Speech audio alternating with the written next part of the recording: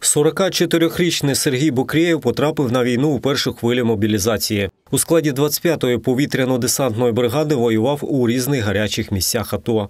Отримав контузію. З тих пір і досі відчуває її наслідки.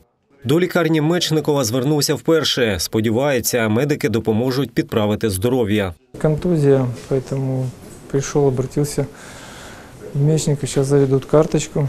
И так обычно я хожу за деньги в больницу, но так государство, я так понимаю, нам поможет.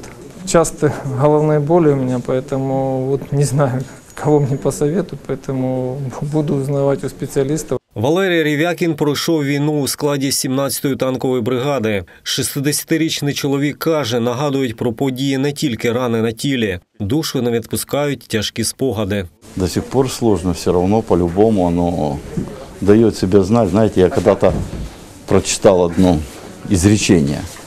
Человек, однажды ушедший на войну, никогда оттуда не возвращается. То ли живой, то ли не живой. І серед лікарів мечки є захисники України. Заступник головного лікаря Юрій Скребець на фронт пішов добровольцем у 2014-му. Там позаштатним медиком врятував не одне життя. На війні реально страшно. І коли потрапляєш е, під справжній обстріл, е, розумієш, що е, за кілька секунд можна пере- передивитись, переглянути все життя. Підтримувати ветеранів АТО та їхні родини це вже традиція в лікарні Мечникова. Тут їм готові допомагати різні спеціалісти від кардіолога до терапевта. Усе безкоштовно і без черг. Для нас это не менее важный вопрос. Это память о тех, кто, к сожалению, не вернулся с войны, помочь их близким.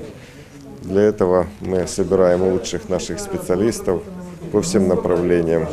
Даем аппаратуру высококлассную для обследования, для лечения. Делаем все возможное, чтобы ребятам помочь. Тільки протягом 2020 року в медзакладі пройшли медогляд 2 тисячі українських військовослужбовців. А за час війни на сході тут врятували майже 3 тисячі поранених бійців. В'ячеслав Куліш, Євген Коденцов, Open News, телеканал відкритий.